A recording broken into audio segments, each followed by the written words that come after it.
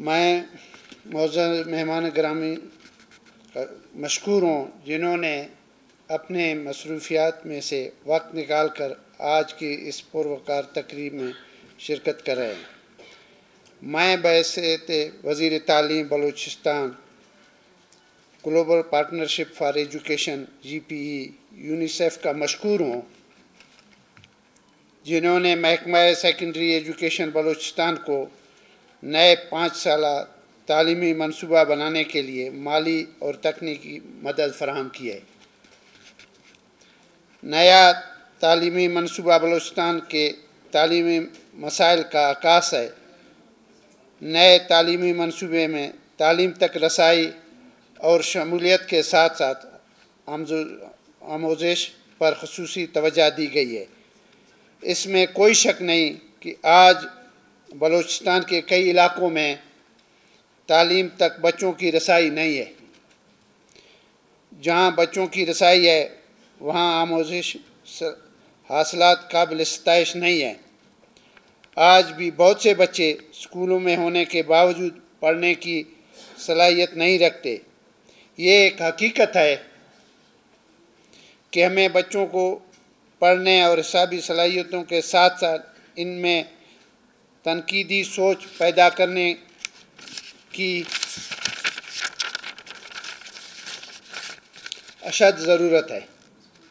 ये हमारे लिए बायस इतमान है कि नए तालीमी मनसूबे में तालीम तक रसाई और शमूलियत के साथ साथ आमोजिश को बेहतर करने के लिए हकीकत पर मबनी हमत अमलियों की तजावीज़ दी गई है।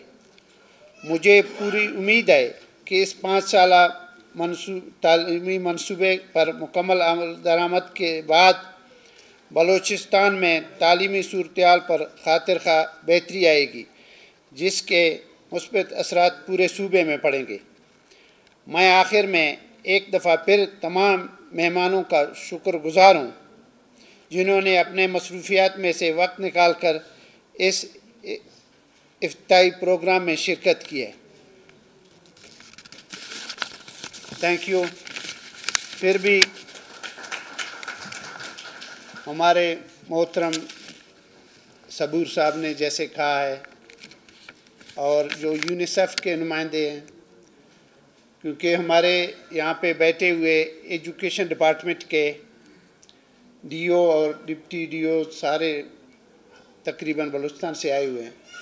तो मेरा यही, सबसे यही गुजारिश है कि हम बलूचिस्तान को एक निगाह से देखें। क्योंकि जिस बच्ची ने कहा था, उसने कहा है कि स्कूल में चार दीवारी नहीं है, पानी नहीं है, इस तरह के बहुत से मसाइल हैं। क्योंकि मैं ऐसा डिस्ट्रिक्ट से ताल्लुक़ रखता हूँ कि वहाँ सबसे ज़्यादा स्कूलों में कुछ भी नहीं है, क्योंकि मैं रहा हूँ सबूर साहब को पता है कि मैं ज़िला नाजम रहा हूँ, जो हमने कुछ किए, काम किए थे। बाकी जब भी बाद में गवर्नमेंट आए हैं, उन्होंने इस पे ख़ास कोई तवज्जो नहीं दी। अभी भी जब भी मैं देखता हूँ, तकरीबन हमारे पास रिकॉर्ड में सत्तर हज़ार से अबव इस हैं। और हमारा तालीम सबसे कमज़ोर है। इसके लिए हमें तवज्जो देनी चाहिए।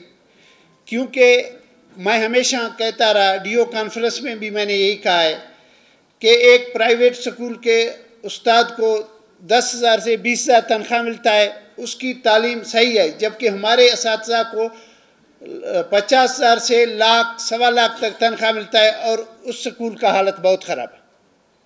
हमारी यही कोशिश रहे, है इन कि हम इसमें तब्दीली लाएँ और हमें सबूर साहब जैसे बैठे हुए हैं, सीनियर, जो सबसे यही एक मीटिंग भी करना है हमने कि इसको हम कैसे बेहतर करेंगे। क्योंकि सबूर साहब एक ख़ुद लेक्चरर रहे हैं। उन्होंने क्योंकि इसने सबूर साहब को इसलिए मैं जानता हूँ क्योंकि ये मेरे शहीद भाई के उस्ताद भी हैं, मीर गुल खान की। तो उस वक्त से मैं इसको जानता हूँ। इसलिए क्योंकि इसमें हमें तब्दीली लाने की ज़रूरत है। वो हम कैसे करें? क्योंकि इसमें हमें चैलेंजेस भी हैं इस की तरफ़ से यूनियनों की तरफ़ से, इसमें हम एक, हमारे सेक्रेटरी साहब, हम एक बैठ के सब यूनियन जितने भी हैं इस यूनियन हम उनको भी साथ मिला के, ताकि हम बेहतरी कैसे ला सकते हैं।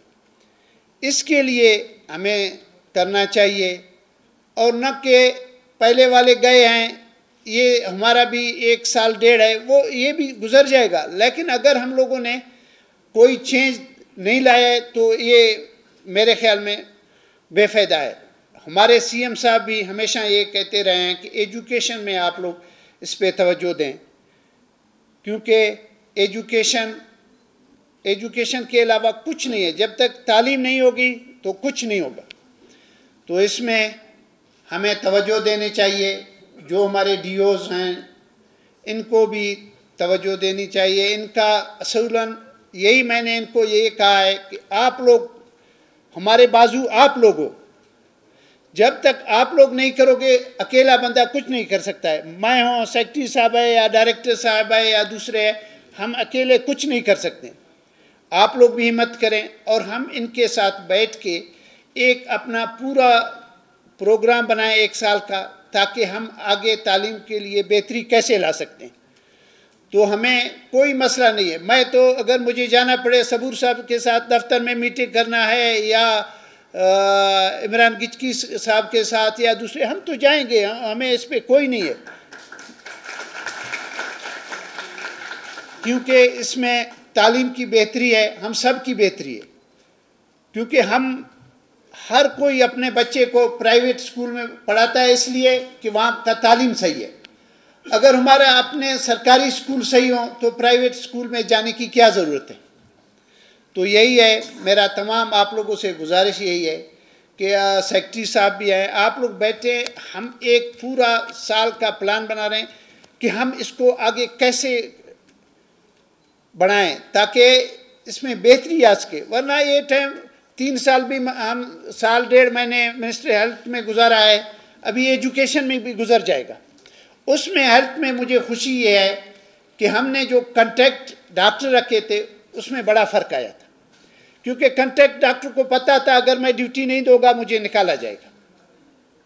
इसमें वाईडीए वालों से भी उस वक्त मेरे काफ़ी वो मीटिंगें हुई थी तो ये है। अगर हम इसमें भी इसी तरह का कोई प्लान बना लें शायद हम बेहतरी की तरफ़ जाएँगे। कंट्रैक्ट क्योंकि हमारे पास स्कूलों में सीनियर इस नहीं है, क्योंकि पब्लिक सर्विस कमीशन की तरफ़ से बड़ा टाइम लग रहा है।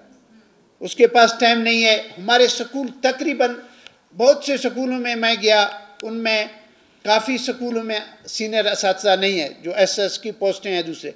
इस पे भी हम एक, मैंने सेक्रेटरी साहब को कहा है, आप एक बना लें, ताकि हम इसको भी कंटेक्ट की तरफ़ ले जाएँ। अल्लाह करे कि इसमें बेहतरी आ जाए। थैंक यू आप तमाम दोस्तों का शुक्रिया। Thank you